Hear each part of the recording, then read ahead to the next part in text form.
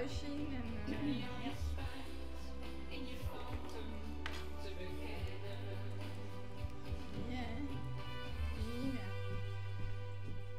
Dirk, en hij komt uit het eh, midden van het land en heeft een nieuwe plaat gemaakt, Je Leven op Straat. Een hele gevoelige plaat voor een jongen van eh, net 17.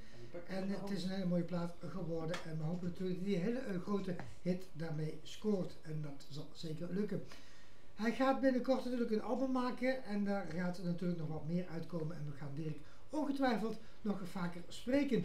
En met Dennis van der Kraan, dat is zijn plugger, heb ik afgesproken dat zodra dat album uitkomt, dat Dirk hier live in de studio aanwezig is om te praten over zijn album.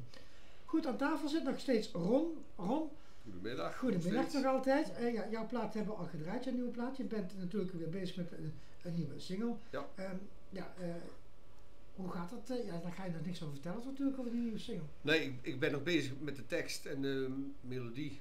Hm? Dus eh, over een maandje of zo, dan hoop ik dat we zo'n beetje de eerste start kunnen gaan maken in, in de studio. En dan Ja. zo na de carnaval, maart, april, dan eh willen we hem uit gaan brengen. Je heet nieuw, een nieuwe naam, gewoon onder je eigen naam treed je op.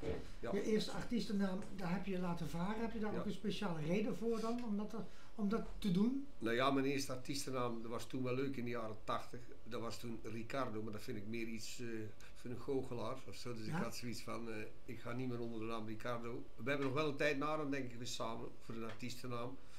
Maar op een gegeven moment heb ik gezegd, joh, ik, ik ga gewoon onder mijn eigen naam, Ron Verhoof, en dat is het beste. joh. Klinkt een beetje, ja, een beetje, een beetje jaren 70-achtig, hè? Ja hè? Ja, Ricardo, ja. Ja, Ricardo, ja. ik Ja. vind meer iets van een goochelaar of zo. Ja, Dus eh, Ja. nee, dat gaan we niet meer doen. niet meer doen. Nee. Ron, wij gaan het gewoon houden op Ron van Hoven. Ik eh, dank jou natuurlijk voor de komst hier zo naar eh, dit dorp Baarle-Nassau-Hertog. Ik wens je een hele goede reis terug naar Putten. Dankjewel. En eh, ja, we, ja, zodra er weer wat uitkomt, dan horen we dat weer van jouw plugger. Zeker van jezelf, Van Dennis, hè? van ja, Dennis. Ja, waar we een hele goede zaak in doen overigens. eh. en ja, natuurlijk heel veel succes met de voorbereiding voor je derde single. Solo. dankjewel, Ad.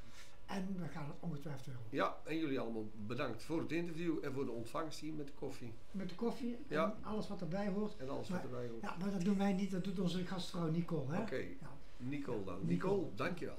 Die zorgt voor de koffie, de thee en de inwendige mens. Ja, Ja. ook belangrijk. Ook belangrijk, zeer zeker, want anders blijven we niet staan op onze twee benen. Hè? Nee.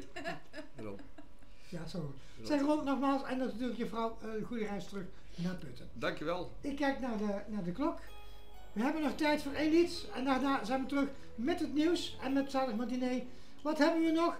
We zouden nog één gast moeten ontvangen. We hebben nog, eh, ja, ook nog een aantal mensen aan de telefoon. Ron, René Becker en nog een hele bekende en natuurlijk Henry van Wijmeren.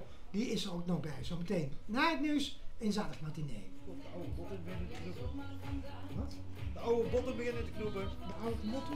De oude botten ben, hè? Maken we nog een fotootje? Wie?